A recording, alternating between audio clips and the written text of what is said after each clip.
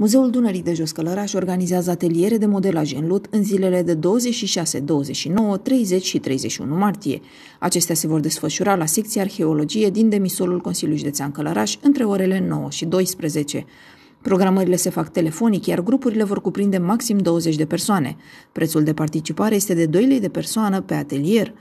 Datorită contextului epidemiologic actual, activitățile se vor derula respectând condițiile impuse de pandemia de COVID-19. Toți participanții vor păstra o distanță de cel puțin un metru față de celelalte persoane și vor purta mască de protecție.